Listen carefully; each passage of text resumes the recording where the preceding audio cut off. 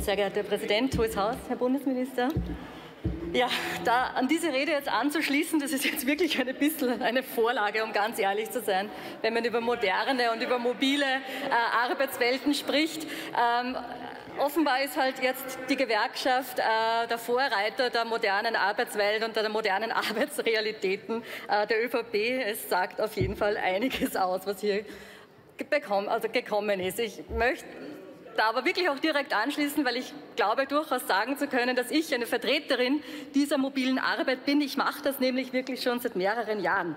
Ich arbeite in einem internationalen Unternehmen, äh, das ähm, mir als Arbeitsort Location Free Österreich gibt.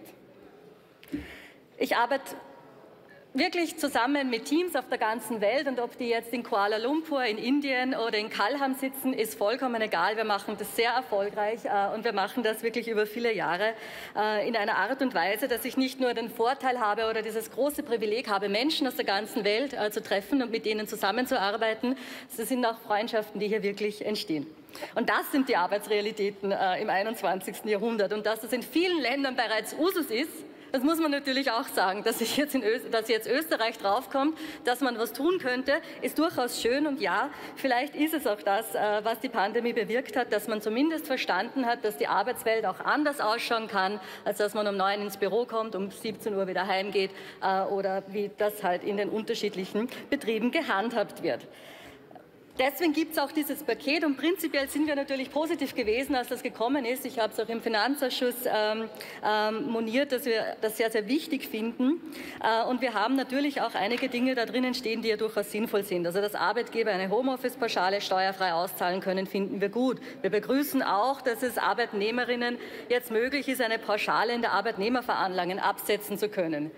Aber was natürlich wieder passiert ist und das, obwohl es im Regierungsprogramm, ich glaube wahrscheinlich schon seit Jahrzehnten drinnen steht, ist eine Vereinfachung der Lohnverrechnung, ist natürlich nicht passiert. Und das ist wahrscheinlich genau das, was passiert, wenn die Sozialpartner so etwas aushandeln. Es ist ein Mehraufwand für alle, Arbeitgeberinnen, Arbeitnehmer, Finanzverwaltung, das ist einfach vorprogrammiert.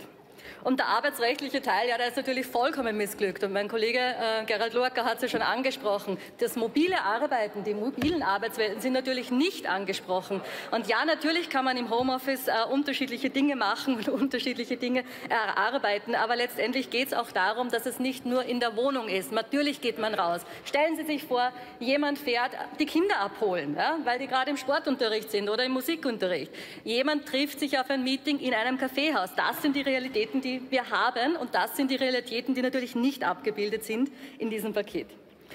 Das, der Regierungsvorschlag, also zusammenfassend, vertut also eine Chance, dass man die, das Arbeitsrecht wirklich anpasst an die Arbeitsrealitäten der Menschen im 21. Jahrhundert. Und wenn ich jetzt hier diese Aussagen von der ehemaligen Wirtschaftspartei ÖVP höre, dann muss ich Ihnen wirklich konstatieren, von modernen Arbeitswelten haben Sie wirklich herzlich wenig Ahnung, meine Damen und Herren. Vielen Dank.